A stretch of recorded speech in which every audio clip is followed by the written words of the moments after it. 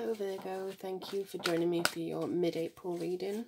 Just a little update to see how we're going this month. Oh, okay, so we already have two cards that want to come out for you.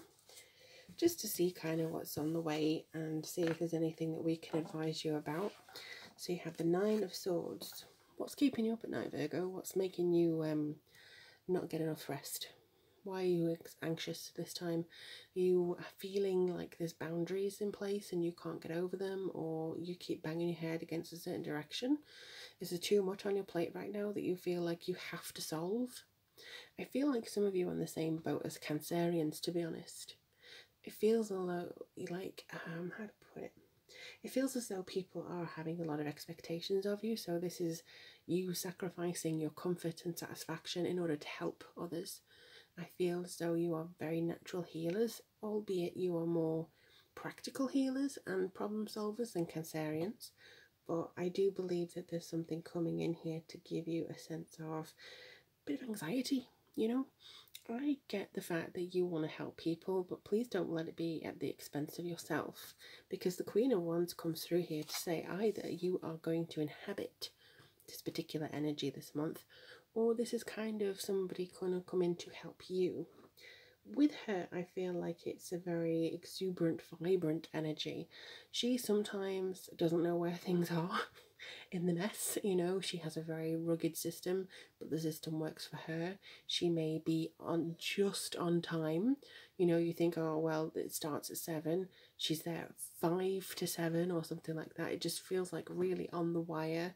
I've known some Leos some Sagittarians, some Aries, some, you know, people with heavy fire signs in their chart to be very disorganized to at the outsiders and certainly maybe in appearance to Virgos, um, but they are very, very aware of what they need to do.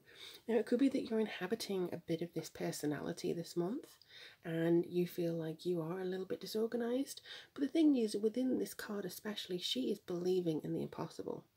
You know, unicorns are a myth but unicorns are kind of like, I think, represented now as that very special, unique, um, almost oh, fairy tale thing that you're never going to get. That's your unicorn. You want a nice man, you know, that's your unicorn. So it could be that you find something in yourself that you didn't think you had. You thought was a myth. You know, you thought it was just something that couldn't be done. You do it. I think that this is kind of anxiety over what if this doesn't work or what if I don't find my unicorn. I think the main thing is that you need to give help to yourself as well. And that doesn't necessarily mean killing yourself at the gym. It doesn't necessarily mean um, sacrificing something that you've always wanted to do in order to have a day off. It just means making sure that you are taking the time to address your anxieties rather than drowning them. And that's all you need to do.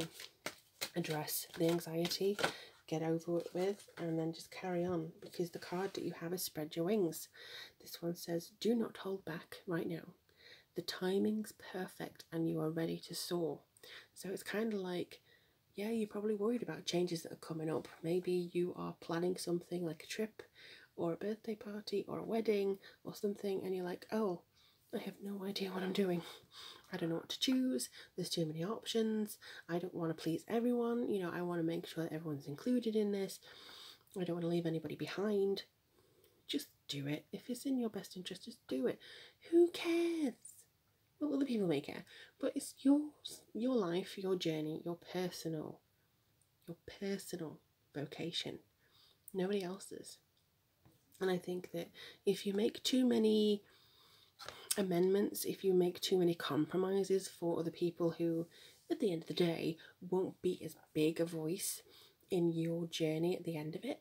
For instance, if you say, oh, um, a friend from college wants to come over at some point and I have to clean the house and it's not ready and I can't do this and oh my gosh, you know, why should you do that if it's going to compromise everything? Or, you know, I'm making allowances to make them more comfortable, or my parents can't possibly travel to Nova Scotia to come with me for my wedding, um, or this birthday party, or this extravaganza, or this pre presentation.